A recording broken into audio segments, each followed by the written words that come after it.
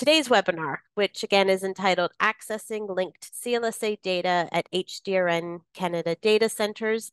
Uh, we have a series of presenters. We have Dr. Andrew Costa, Dr. Sophie Hogeveen, uh, Carmen La, and Lindsey Gilbert, as well as Anne Hayes uh, will be joining um, as part of the Q&A.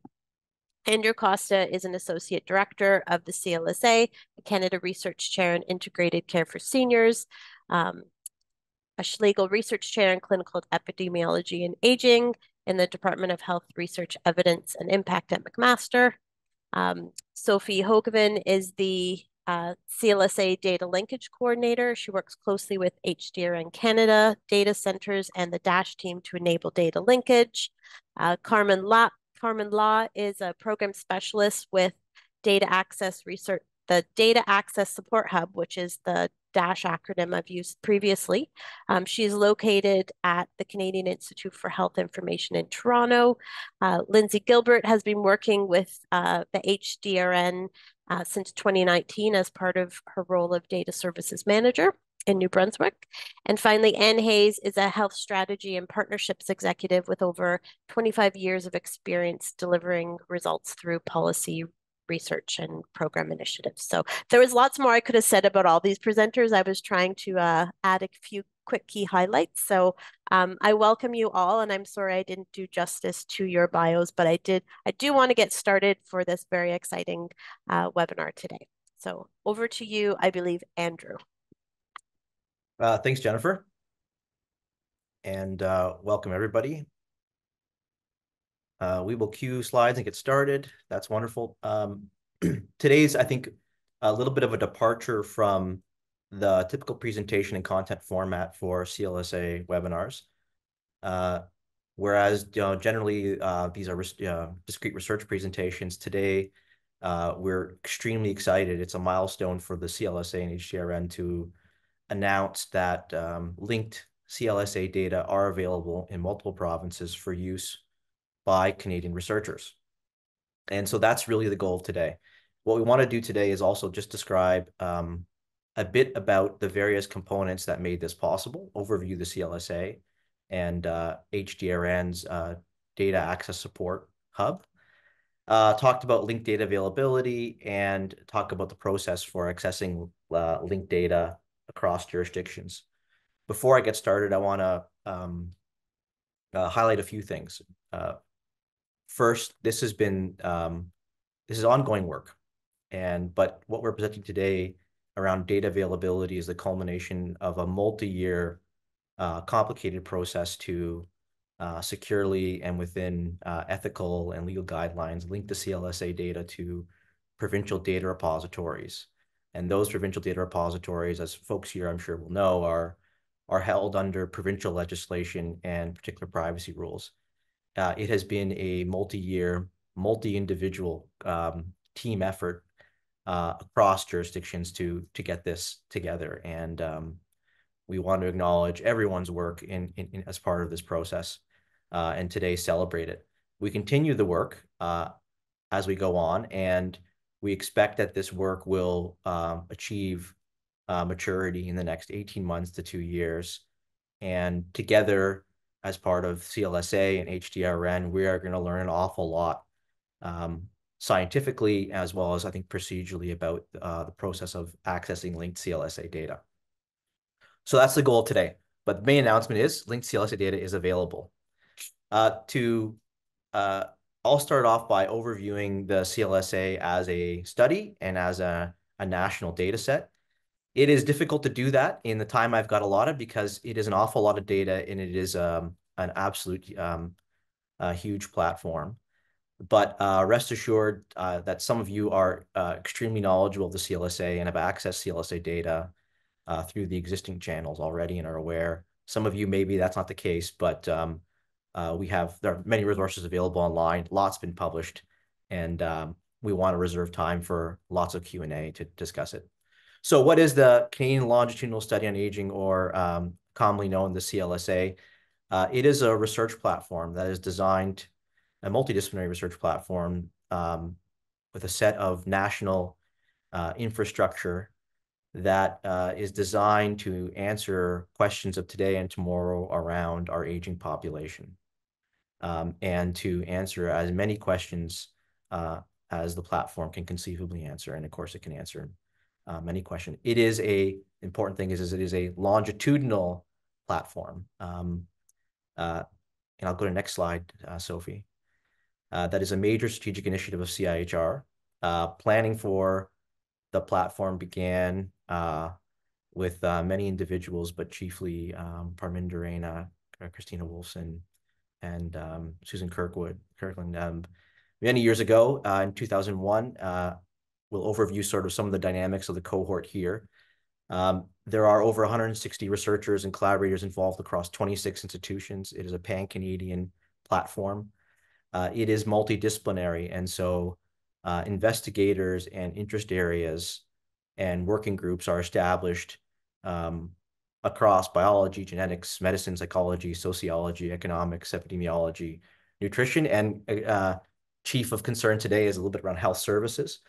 And uh, there are content available that uh, address these domains through various primary data collection strategies that are a part of the platform, which I will overview, uh, all of which provides an extremely exciting base cohort to do research and detailed research. And from the perspective of um, health services evaluation, provides an extremely valuable base cohort to do health services research, which is typically the domain of linkage with our uh, administrative health data uh, across jurisdictions.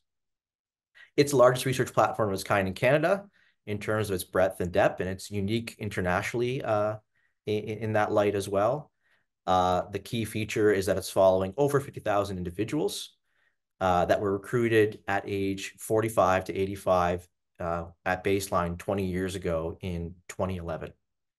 And so we celebrated uh, a 10 year milestone not long ago. Next slide, please. Uh, two key features to know, and uh, folks who have access to CLSA know this extremely well. There are two cohorts within the Canadian Longitudinal Study in Aging. Of those individuals, over 50,000 individuals recruited at baseline in 2011. there's a tracking cohort, and this is just over 21,000 individuals, as you can see, that were recruited from all 10 provinces. And these individuals are followed on a, let's call it a bit of a lighter protocol uh, through computer-assisted telephone interviews or uh, CATI interviews, as we say, uh, that are conducted at uh, our partner institutions ac um, across the country uh, that are, um, in fact, over but about 60 minutes uh, in length. And this information is available online. We will shortly share links but many of you are aware of that. Um, but essentially, this covers domains of general health, smoking, your typical age and, and demographic characteristics, cognition, mood, activities of daily living, instrumental activities, social networks, care receiving, um, in terms of formal care, formal care, injuries, falls, uh, retirement and labor, retirement planning, hearing, vision. I can go on. Uh, it's all available online. Um, and so though it's a lighter protocol, it is quite detailed. It is very detailed. The comprehensive cohort uh, is uh, the larger majority of, of, of the CLSA. Uh, here you see over 30,000 individuals recruited at baseline. And um, these individuals are, are within 25 or 50 kilometers from a CLSA data collection site, uh, which are academic institutions typically um, uh, uh, in, in multiple provinces across the country. And these individuals are followed with the same content as a tracking cohort, but on an expanded set through in-home interviews and uh, uniquely physical assessments and biospecimen collection um, done at these data collection sites. And for these individuals, uh, there is a, a, greater commitment in terms of time invested. Um, and of course, we um, always acknowledge the participants who make this study possible uh, and donate their time to, to do this, uh, without which we wouldn't have the CLSA. Uh, and so it's a very exciting platform with a lot of information. You're encouraged to look online, and a link was just posted. Uh, next slide, please. Uh, this is sort of like a, um, I, I maybe call this a CLSA tattoo. Folks would be familiar with this. And so it's um, here we have um, uh, a very nice visual of the, the main mechanisms and, and data collection uh, points of the CLSA. So as was mentioned, uh, at 2011, 50,000 over 50,000 individuals were were um, were recruited. Uh, there you see on the left we have the tracking cohort, which are um, followed by questionnaire. On the right you have um, the, the, comprehensive cohort, and as you could see, uh, the main mechanism of the CLSA was at baseline. In about 2011, there was a baseline interview or a sets of data collection rather, and there was a maintaining contact questionnaire in that same period. That that that is the baseline period and data collection. And then the protocol stipulates um, every three years of follow-up. And so at the moment, we are completing follow-up uh, three and bridging into follow-up four. Um, and the study is will will uh, will move forward all the way until 2033. So that's 20 years of, of data collection. Uh, linked data that are available uh, are usable for 20 years thereafter, established in the protocol uh, as a minimum. And um, uh, information is collected. Uh, uh, the, the, link has just been posted on, on, on where you can see all the information collected. There's data preview portals on the information that has been collected. Uh, the important thing to mention is that as part of the CLSA protocol, and uh, in fact, there's publications on on the approach to to consent and, and data linkage um, that that we can share. Um, the data linkage was always conceived as part of the protocol. And uh, in the CLSA, uh, participants uh, were able to consent and provide their health card number uh, for linkage to uh, provincial uh, data centers data through provinces. And if I'm not mistaken, and we don't have the number here, over 92% of CLSA participants did consent to that linkage. And where we have done linkage, we have um, extremely high linkage rates, um, uh, over 99%. Um, and so that provides a, a, fantastic mechanism. It's also an important mechanism, the CLSA, uh, as folks are aware, uh, recall bias and issues around health services use uh, is a challenge, particularly where there are three-year follow-ups. And so uh, essentially data linkage provides the ability to understand health service use and those various factors uh, on a very rigorous basis. Next slide, please. And so uh, important to note that uh, the, the CLSA is, is, of course, national in scope. Uh, national meaning including the provinces in this case, not, not, not territories in terms of um, participants for data collection. Uh, information on uh, the original recruitment targets and, and methods are, are available uh, and are easily referenced. Um, there you see sort of the sites and the next slide, I believe, um, right? Uh, so the data that are available, I think I overviewed probably appropriately enough. Um, many data are available. It's important to say what's not available. Um, at as part of the national infrastructure at McMaster University, there's a um, a biorepository and bioanalysis um, site. And of course, those are not available to uh, provincial data centers. Those are uh, in cold storage. Um, so of course, those that's not available. Um, uh, there are information that are being characterized in terms of um, uh, metabolomics and, and genetics that have not been shared. Uh, and information on indigenous identifiers in the CLSA um, uh, have not been shared with provincial data centers as well.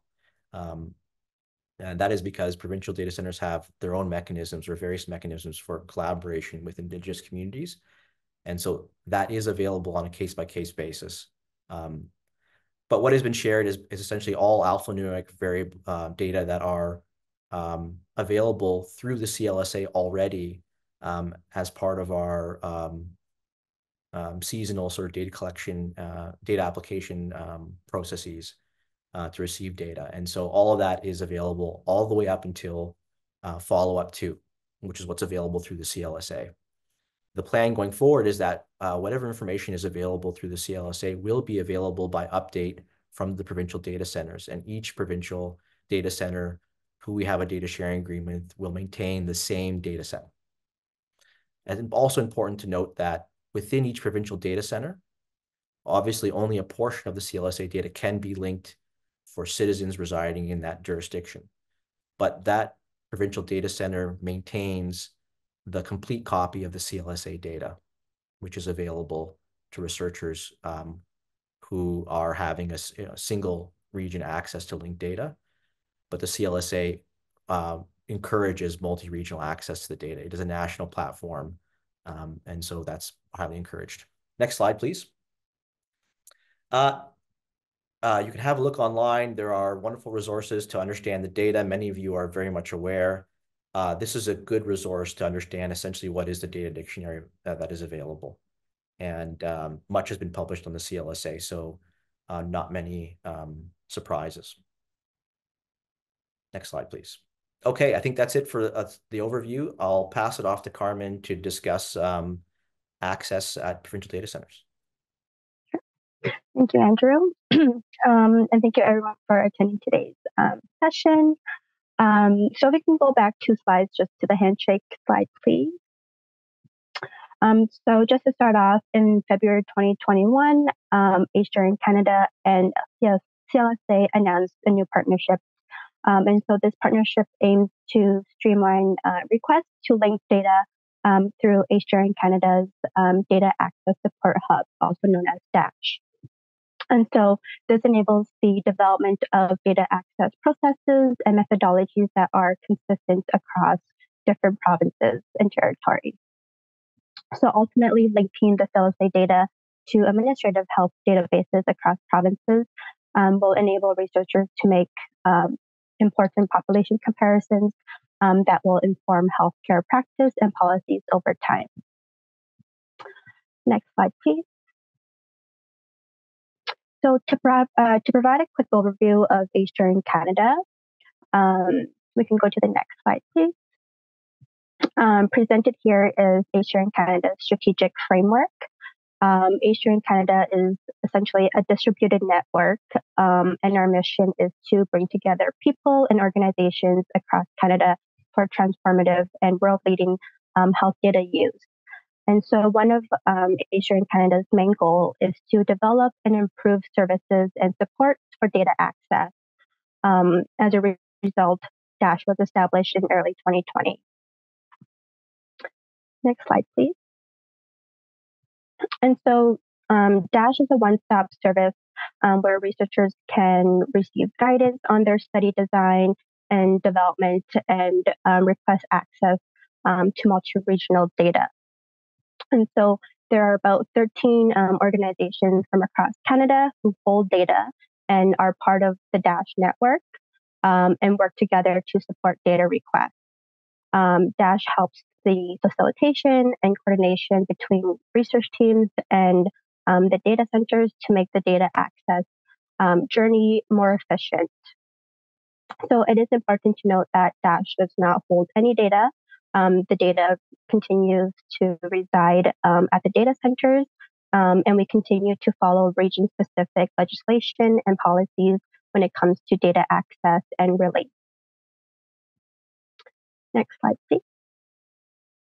So this is just a quick snapshot of our current member organizations, um, where we have data center reps from each data center who can support your data requests within um, the DASH program. Next slide, please. So since the launch of Dash, um, we have developed um, streamlined processes to provide better support and coordination for researchers accessing multi, uh, multi-regional data. We've developed um, resources and tools, which I'll touch later on in this presentation. But essentially, over time, these solutions will help further um, automate the data access request process. Next slide, please. So as part of um, CLSA and HDRN Canada's partnership, um, a steering committee was created to understand how the CLSA data could be brought into and held at our da- uh, Dash data centers, um, what agreements need to be in place for um, data transfers and data linkages. And we develop processes and documented um, standard operating procedures to ensure a seamless data request from researchers. So, in terms of the CLSA linked um, data availability, um, currently this is the status um, at each of our uh, Dash data centers. Um, so, in BC, they've completed their linkage with a rate of 99.7%. Um, in Ontario and New Brunswick, linkage is still in, in progress.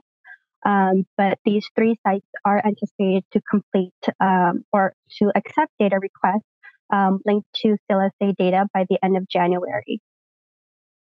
Um, all the other sites, except for um, Saskatchewan, um, have all started their data sharing agreement process. and they're all in various stages. For example, in Alberta, the first draft of the of the data sharing agreement is still um, underway, whereas in Nova Scotia, um, they've executed their data sharing agreement, but they're still waiting for local approval to transfer data from um, CLSA to um, HDNS. So, um, if researchers are looking for um, linked CLSA data to administrative data, there are two routes that they can go through. If they are looking for multi-regional linked data through Dash, um, they would come to Dash. Um, if they just wanted single region um, linked data, they can go directly to the data center that is holding um, the data. So I'll now get into um, how Dash can help you with your multi-regional data request um, involving um, CLSA data. So essentially, this is um, Dash's uh, process. Um, so in phase one, as a first step, a member of the research team would submit an intake form through our Dash portal. Um, after receiving the intake form, Dash will schedule an intake call with the research team um, to review the information provided in the intake form. Um, and at this stage, we do try to bring in the local Dash reps um, from our data centers um, to support any initial questions, um, provide some preliminary feedback. Um, and after the intake call, researchers may be asked to refine their intake form before proceeding. Um, Dash will then review the intake form and confirm eligibility and feasibility of the project um, and develop cost estimates if requested. Um, when the project is deemed feasible and the researcher um, has confirmed funding and they're ready to um, proceed, then the project would move into the data access request stage, um, also known as the DAR stage. So in this second stage, um, researchers would complete a dash DAR um, through our portal, which will then undergo an initial review by our data centers. Um, once the DAR is complete and ready for approvals, um, the DAR will also be sent to CLSA, in which they would have 14 days to reject the approval. Otherwise, the project would um, proceed as usual. Um, Dash and data centers will continue to complete the necessary local reviews um, and approvals, and then start drafting agreements, preparing the data, and then ultimately um, enabling the data access. If applicable, some data centers may um, provide analytical services as well. Um, so then in stage three, um, researchers will be able to access um, data as per um, local data center policies, um, and they would also be reminded to review the CLSA data uh, user responsibility checklist. Once researchers receive the data, um, they would be invoiced by each data center um, they're receiving data from within Dash. And then in addition, um, McMaster University will also issue an invoice on behalf of CLSA.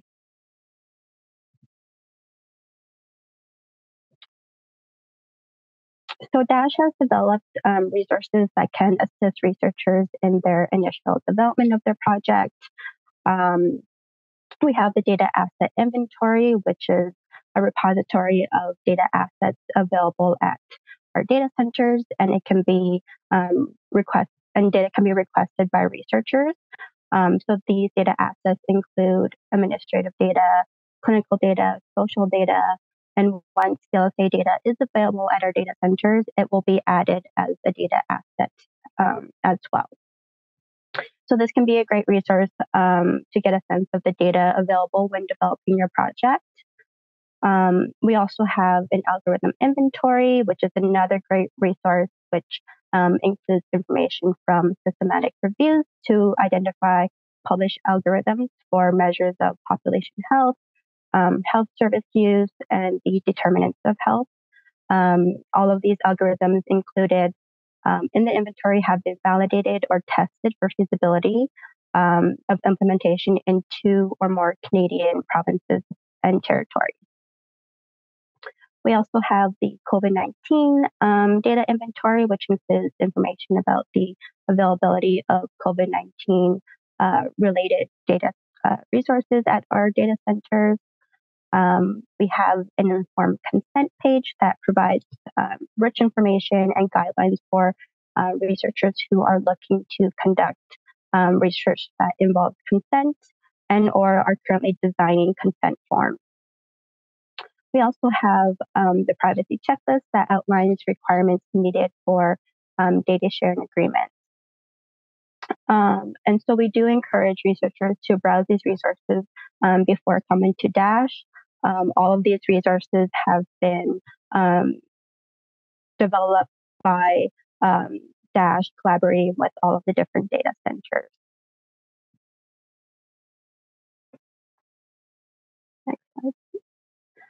So one of um, Dash's greatest assets is that we've built the Dash portal, which is a, a, a web platform that houses um, forms that researchers will need to complete through the data access process. Um, so these centralized forms were designed to take the burden off of researchers by reducing the need to complete multiple forms across different data centers. And so using a collaborative space allows for the data centers to work together to ensure um, data and service availability as well as data um, comparability. So the intake form um, will ask basic questions about your project, um, like what services you're looking for, what your timelines for data access are, what regions you're interested in obtaining data from. Um, that way, Dash can provide you with a, a feasibility assessment and cost estimate for your project. We then go into building the data assembly plan. Um, some of the information collected in the intake form will feed into the project's data assembly plan. Um, this tool allows researchers and data centers to collaborate and document um, centrally um, the project's data requirements, um, their analytical plan, which will eventually inform um, local data creation plans. And then we have the data access request. So um, this new dash form allows researchers to complete one single data access request form um, when requesting data from multiple provinces. So one caveat right now is that projects that involve CIHI or StatsCan um, data, um, researchers would still be directed to complete separate forms for those requests. Um, however, the dash DAR is a big step forward in reducing the number of um, DAR forms that need to be completed. So the DAR form um, builds on previous information that Dash has collected for your project, um, and you will also be asked to obtain and attach um, relevant supplementary documents such as ethics approval, consent forms if applicable, um, funding letters um, that are all needed for um, review and approval of the project. And so these forms are all integrated with each other. And so information that was provided um, in the intake form will downstream into the DAR if relevant. Um, we are continuing to enhance the forms and the portal in general to further streamline and automate the process.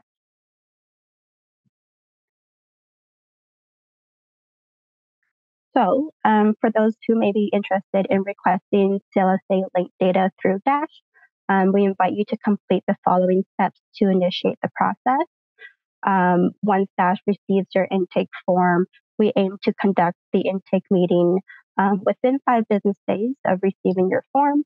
Uh, once we have everything we need, we can provide you with a feasibility assessment within two to four weeks. Um, but also to note that timelines may vary depending on the readiness of um, the research team to meet, um, as well as the complexity of the project. So if you do have any questions along the way, um, you can always contact Dash directly and we'd be happy to support you through your Dash journey. So now I'll pass it on to Lindsey to speak um, about the single site experience. Thank you, Carmen. Hi, everyone. I won't take too much time. I know I'm excited to get to the Q&A, as I'm sure everyone is. Uh, but as a participating data center in New Brunswick, I would like to highlight today some of the things that, from our perspective, have helped make this data sharing partnership so successful. Next slide. Yeah. Um, so the first one is that the project felt uh, to us to be truly collaborative. And uh, I mean that. It felt like a true partnership in that HDRN, CLSA, and the data centers were hands on uh, throughout the whole uh, journey of coordinating agreement review, developing and reviewing standard operating procedures, um, and just being available for meetings and troubleshooting issues along the way. Um, I definitely found there was a lot of give and take with making our respective processes work uh, to make this project uh, move forward. In addition to HDRN data centers and CLSA, of course, having a lot of opportunity over the course of the project to learn from each other, from my perspective, there was also an added benefit of the data centers learning from each other. And for me, uh, I know that learning a lot of through the Health Data Research Network uh, happens all the time, but being involved in a specific initiative uh, like this one has really helped me apply the information that I learned uh, and think about how we could be doing things differently, uh, which was very beneficial uh, to our team. And finally, consistent standing meetings uh, with a focus on action items. I found that was really key for this project, uh, even when we felt like we were stuck uh, on a piece of the initiative. Uh, but that being said, we did adjust the frequency of the meetings that we had together according to the phase of the project that we were in. Uh, so we know that early reviews can take longer, so meetings could be less frequent, uh, but we made sure to increase uh, frequency of our collaboration uh, to make things move faster uh, once we were ready to do process development and actually transfer the data uh, into each data center. And on the next slide, um, I'll just go through a few of the lessons that we learned from being part of this project. The first, of course, is to always include plenty of time for legal review in project timelines. Andrew alluded to the data sharing agreements that we completed, and I have to say that was definitely a very large portion uh, of the work that we did uh, in the beginning. Uh, it was very intensive. There's nearly always more back and forth than you think there will be. Um, and in addition to agreement negotiation, when there's so many organizations on board, um, almost everyone uh, had to uh, deal with some sort of unforeseen challenge, uh, such as legal counsel turnover, uh, changes within their organization, competing local priorities, uh, all kinds of things that uh, made things go a little bit more slowly than anticipated. And as you know, just uh, working on such a big project like this together with so many different data centers, we found that it was easier to make one person at each organization responsible for communicating within their site and then reporting on status and getting everything together to come back to the central group. Um, so even if uh, there were multiple teams within a data center that we worked on for different portions of the data sharing, uh, we made sure that we had that central point of contact uh, to be the common thread uh, throughout. Uh, maybe sounds obvious, but it really helped us.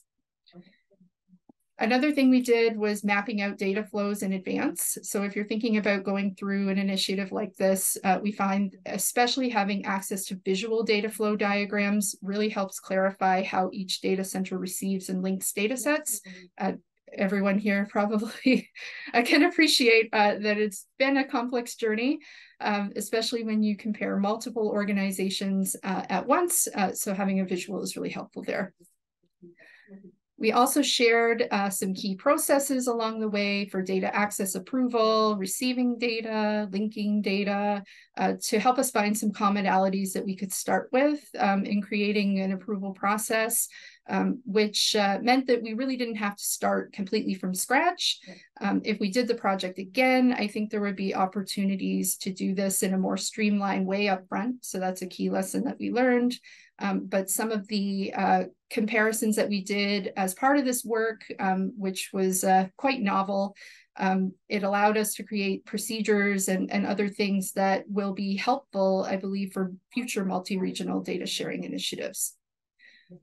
Also, uh, we observed that common understanding of terminology is huge. I can't overstate that. Um, taking a step back and establishing common terminology in the beginning can save a lot of confusion. Uh, for example, we learned that through the, even though the data centers uh, use a lot of the same words to describe data and processes, uh, the differences in meaning can actually be pretty significant. A special shout out there to the word linkage. Who knew that you could use that word in so many ways? Uh, we found out that you can. Finally, uh, I wanted to highlight this piece last. Uh, not every organization's procedural details had to be exactly the same to make this collaboration successful. Um, and I wanted to point that out because I think uh, for people thinking about participating in an initiative like this, it can seem very daunting uh, to reconcile all these different needs. Um, I think there can be a fear. Uh, I know there was maybe on on our side that such radical changes uh, would need to be needed uh, to uh, ever be able to participate, uh, but we just didn't find that to be true. Um, even though collaboratively building our approach, uh, starting with our, our processes as all of the data centers were helpful, I think more importantly, um, we were able to always make sure that we return to the big picture and assess what we really needed to accomplish, and then determine common outcomes out of that uh, that we would need to reach, and then figure out how we can use our own processes to get there um, and meet in those common points along the way. Uh, this is a strategy that um, the DASH team uses quite a lot as well, um, and we find it very effective. And uh, I have to say, CLSA was wonderful to work with um, in uh, making these things happen. So those are some of our lessons learned. Uh, there are many more, uh, but for now, I'll hand it over to Andrew to link things up. Thank you very much. thanks, Lindsey. And so in conclusion, um, we want to acknowledge um, the CIHR and the CFI who uh, fund uh, the CLSA, um, as well as the Government of Canada and our supportive network of uh, provincial governments and universities that make the platform possible, um, and clearly HDRN, who without which um, this would not be possible. And of course, HDRN includes uh, just a, a, variety of provincial data centers and and and similar groups uh, and federal centers as well across the country. Um, and I think Lindsey overviewed it extremely well in terms of how that process went, and um, it was fantastic. We also want to thank the McMaster Collaborative for Health and Aging uh, and their funder, the Ontario SPOR Support Unit, who supported some critical early work uh, in Ontario that that provided a little bit of a framework to get started. Uh, so we acknowledge that that was instrumental. we have time for questions. I know there's questions in the chat. Um, just to note that uh, we will we might not get to all questions but all questions will be answered and sent and shared. Um, uh, please do uh, include your questions. Um, we we oftentimes only get to sort of uh, helpful answers when we have strict scenarios that you can maybe provide, and so feel free to do that. Um, and we'll we'll we'll get to those questions now. Uh, I'm seeing one already. Um, well, more than one from Helen. Uh, and the question is time taken for researchers to gain access to linked data.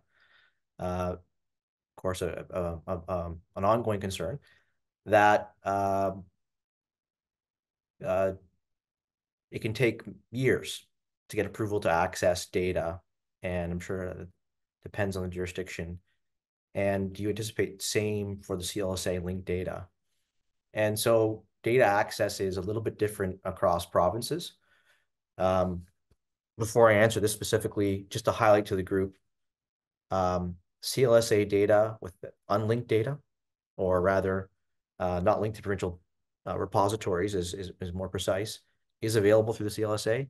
Linked data to provincial repositories is not available through the CLSA through the regular data access mechanism. It is available, as Carmen mentioned, if you only want single jurisdiction linked data through that jurisdiction's um, data center through their existing process and for multi-regional data through um, the HDRN DASH process that was mentioned that facilitates access. And so Carmen overviewed the steps, and essentially it is um, a federated and coordinated set of steps, steps when you're looking for multi-region linked data uh, through through DASH. And so we anticipate that that could be a little bit longer than single region data. Uh, unfortunately for um, for the CLSA, for the researchers who want to access data, and oftentimes even for the data centers themselves, uh, they do not always have uh, complete control over their time processes because their processes are changing and sometimes can change according to changes in legislation and how, uh, particularly privacy legislation. Uh, it's an ongoing concern around speedy access to the resource, but it is quite a resource. And so um, I would just offer to say that it's worth the wait. Um, I, th I, think we hope that these uh, processes are, are, will continue to improve over time. Uh, so not a great answer there um, uh, in terms of uh, exact timeframes because unfortunately they're not warranted. Um, or rather, uh, we, we can't warrant a particular time frame. Uh, where can we find data flow maps? Um, you can find data flow maps on the websites uh, for the CLSA that was um, shared. Uh, that information is widely available. And then in particular domains of interest, there's um, uh, typically always a lot published already on the CLSA. Um, with respect to the HDRN, what data are available on uh, the provincial side that for linkage, those are available through the provincial data centers, but also HDRN has wonderful resources around what data are available across regions, including um, uh, algorithms that you can compare.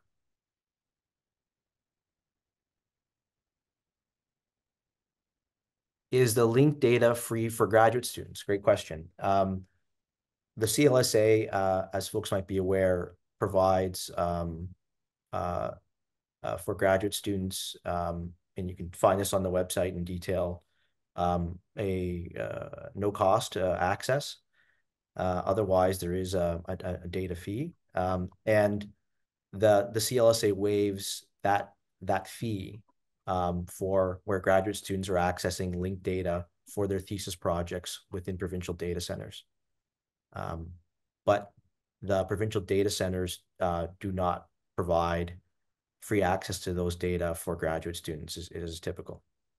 Uh, and they do not because there are um, particular hosting costs and the, the, mechanism for which, if folks are not familiar, data are used across provincial data centers is with um, a high degree of security, usually on secure portals, and and very very often, if not exclusively, facilitated by an intermediary uh, expert data analyst that is has access to the data um, uh, um, securely.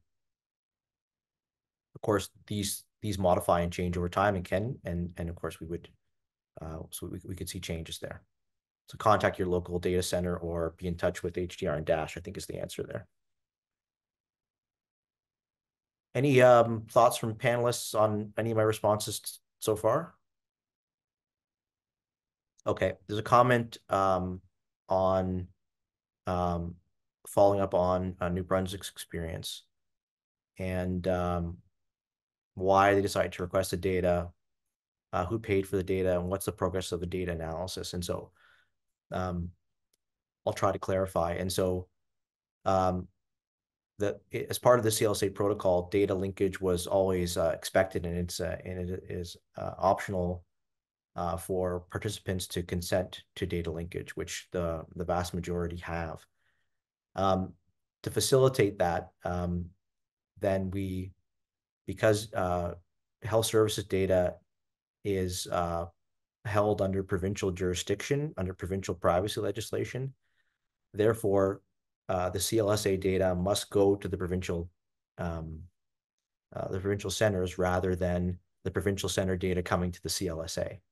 Um, and so uh, as part of HDRN's activities and CLSA's mandate, uh, that's how this uh, relationship came to be and, and, and the good outcomes to date. Um, who paid for the data? Uh, essentially, the, the, CLSA has a mandate to for data linkage, and so um, it was supported instrumentally through people time across HDRN, the data centers, um, includes CIHI and and ourselves in the CLSA. What's the progress of the data analysis? Um, the data are are linked in centers where are that are available. So three there are three jurisdictions to date. Um, uh, as you saw, more will be added as data sharing agreements conclude and data are shared.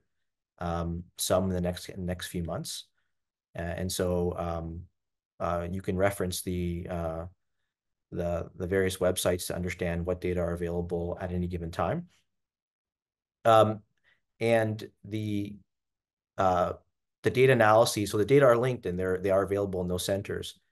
Uh, so they're available to researchers to do um, research uh, under the rules of conducting research in, in provincial data centers. And so uh, those analyses will now uh, begin. Um, and so we expect that researchers will access those data, um, build proposals to access those data.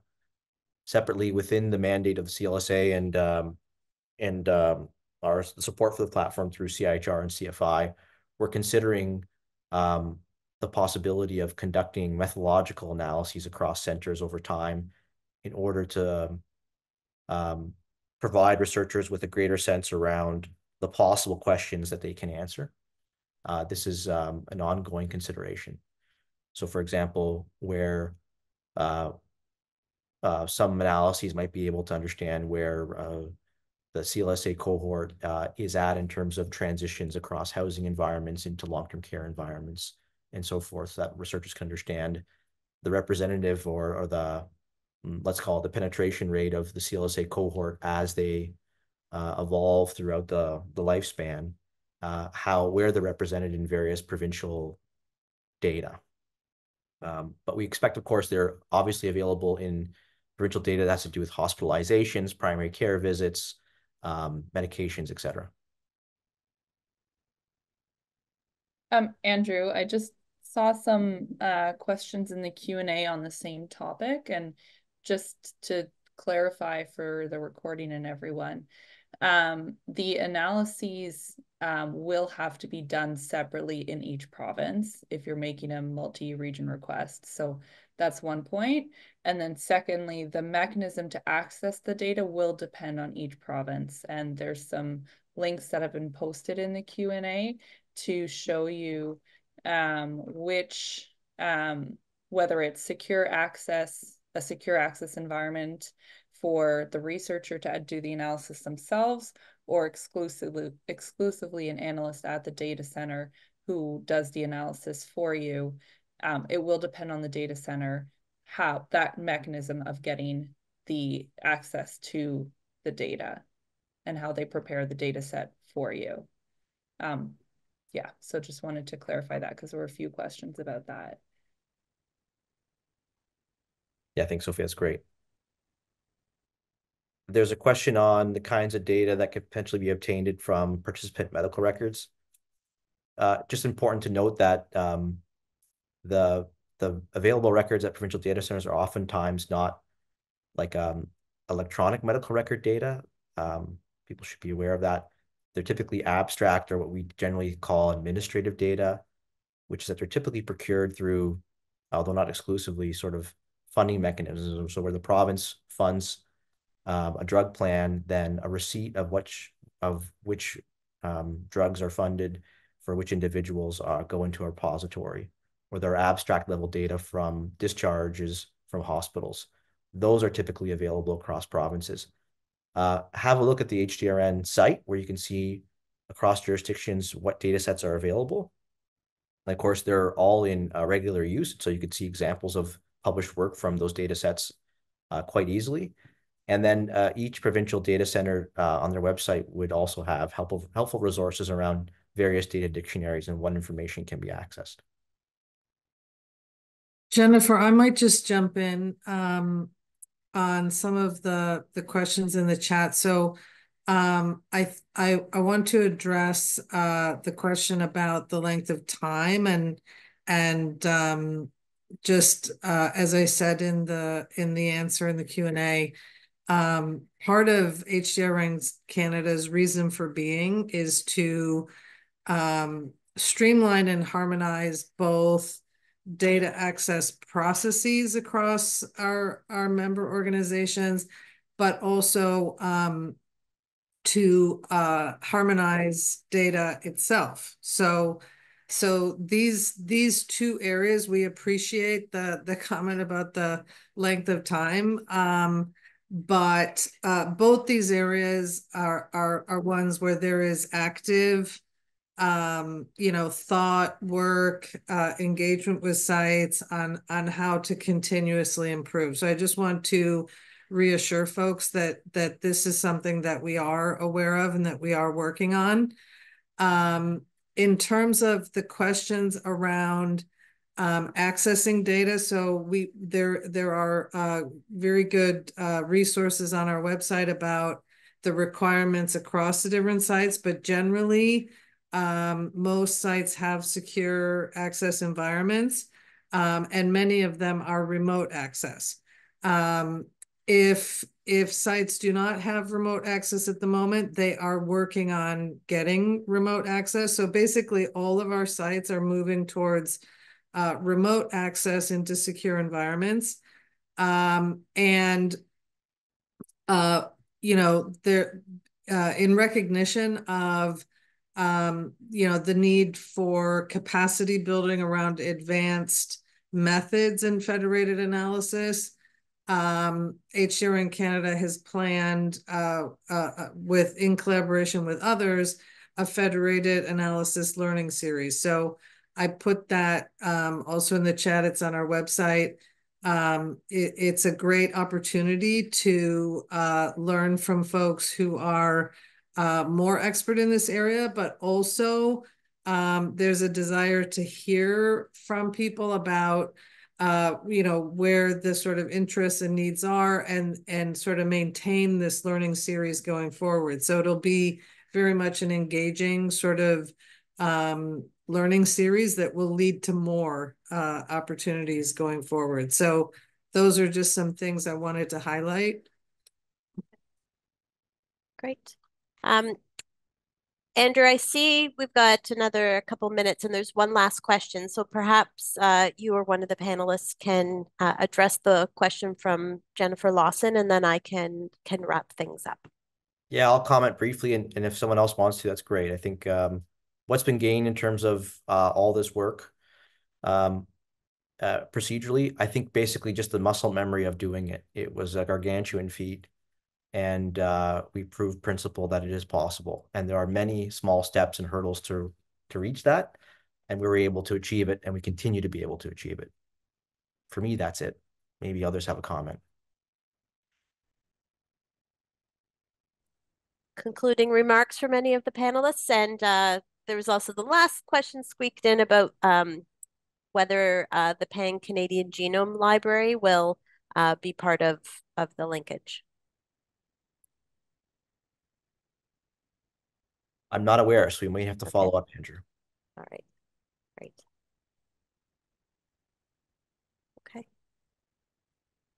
Well, I see the uh, I see some some nice general comments coming in and congratulating everyone. So maybe this is a, a good time to end and and congratulate everyone on a, a great webinar. And this has been a uh, tremendous feat for uh, the CLSA and and all the collaborators who we've been um, working with on. So thank you again for to all of you who presented or were behind the scenes helping answer questions. Uh, we really appreciate your participation in these webinars. They're they're greatly valued by the our researchers and participants.